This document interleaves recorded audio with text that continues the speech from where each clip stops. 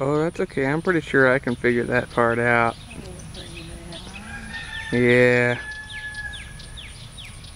Check it out.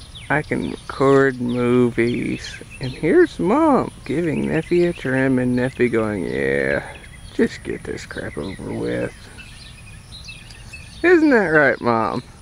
Mom was saying you're supposed to just be taking still shots, that's all. I took a lot of them too. This is like shearing sheep. Besides, this way out I can really capture the work of getting that big honking mat off. Uh-huh. There it is.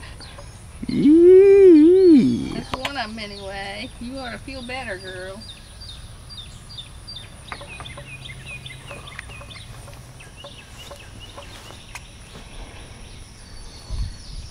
At some point, sweetie, you're going to have to stand back up. But for the minute, we'll see what we can do.